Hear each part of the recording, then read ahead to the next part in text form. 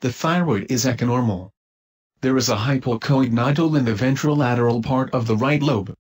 The lesion has irregular, lobulated margins,